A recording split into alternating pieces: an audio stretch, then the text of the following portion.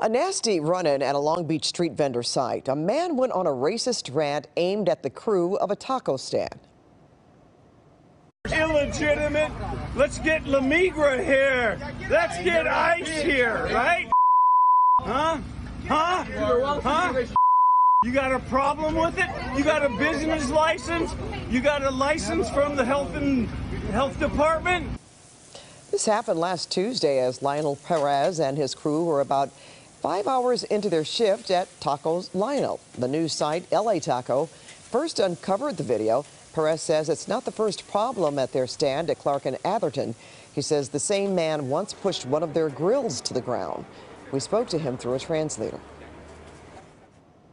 He's going to come back stronger, better than ever. He's here because of the people, and he is responding. With a, people are responding with a lot of positivity and a lot of support. So he thinks he's going to come back stronger than ever. Uh, I think it's really unfortunate uh, that people think like that, uh, especially nowadays. Uh, it's unfortunate to see on social media that there's still so much hate going around. Uh, these vendors are just working hard, and their families that are trying to make ends meet most of the time. Customers who were lined up to order food during the, the rant yelled back, telling the man to get lost.